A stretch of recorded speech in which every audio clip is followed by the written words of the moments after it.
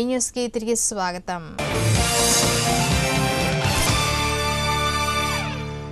ఒంగోలు నగర పరిధిలోని పార్లమెంటులో ఓ బాలిక అనుమానాస్పదంగా మృతి చెందింది. అభం శుభం తెలియని పద్నాలుగేళ్ళ అనురాధను గర్భవతిని చేసి బయటకు పొక్కకుండా సొంత మేనత్త కొడుకు హతమార్చినట్లు ఆమె తండ్రి పోలీసులకు ఫిర్యాదు చేశాడు.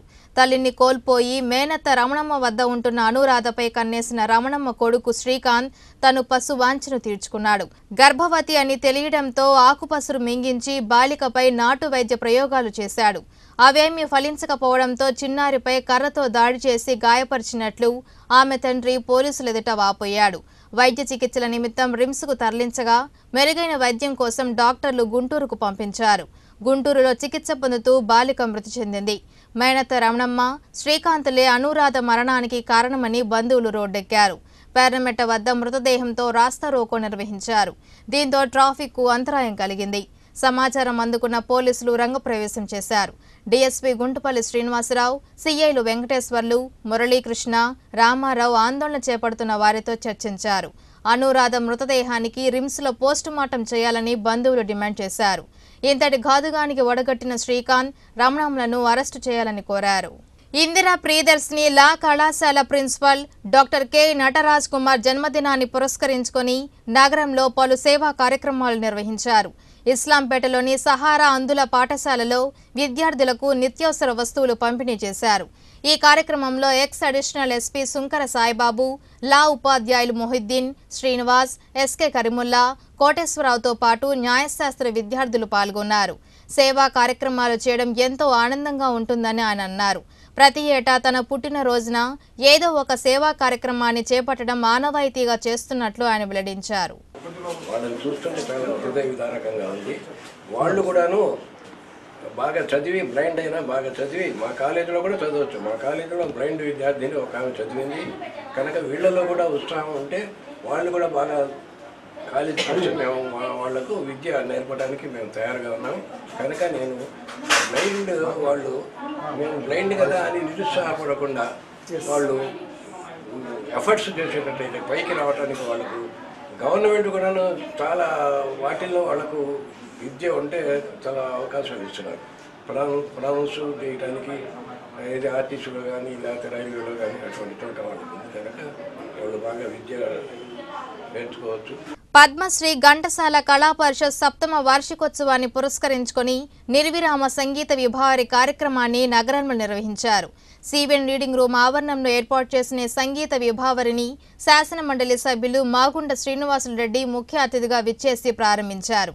ఈ కార్యక్రమంలో నిర్వాహకురాలు లక్ష్మీ తులసి కోటేశ్వరరావు ఐనాబతిని ఘనశ్యాం తాతా ప్రసాద్ బెల్లం సత్యం గాయని గాయకులు నాగేశ్వరమ్మ అచ్యుత్ రతన్ బాబుతో పాటు పలువురు పాల్గొన్నారు. తెలుగు బుక్ ఆఫ్ రికార్డ్ కొరకు పద్నాలుగు గంటల పాటు నూట యాభై పాటలు ఆలపించిన లక్ష్మీ తులసిని మాగుంట ప్రత్యేకంగా అభినందించారు.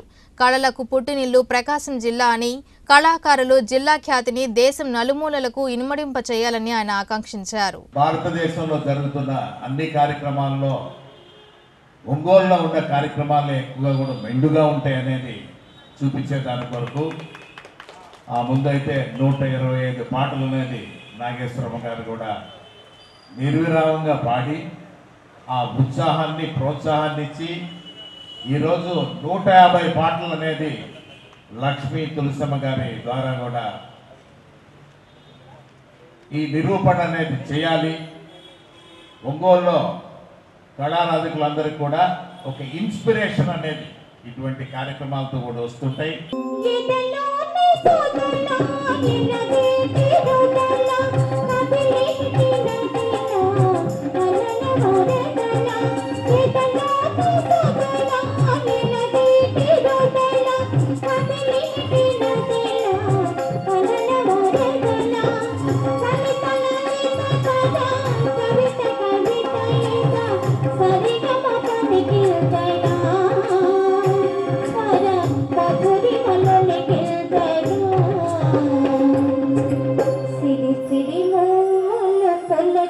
Xe.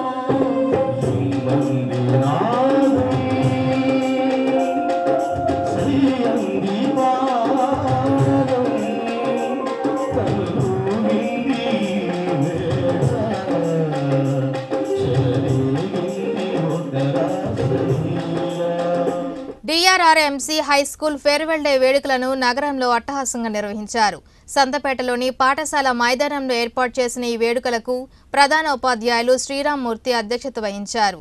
ఈ కార్యక్రమంలో ఉపాధ్యాయులు చావలి వెంకట్రమణ రాజలక్ష్మి నాన్సీ పద్మజ ఈపూరి శివప్రసాద్తో పాటు విద్యార్థిని విద్యార్థులు పాల్గొన్నారు. రాబోయే పదవ తరగతి పరీక్షల్లో విద్యార్థులు ఉత్తీర్ణత సాధించి పాఠశాల కీర్తి ప్రతిష్టతలను ఇనుమడింప చేయాలని విద్యార్థులకు సూచించారు. ఈ సందర్భంగా క్రీడల్లో గెలుపొందిన విద్యార్థులకు బహుమతులు అందజేశారు. అనంతరం విద్యార్థులు ప్రదర్శించిన సాంస్కృతిక కార్యక్రమాలు అందరినీ ఉత్సాహపరిచాయి.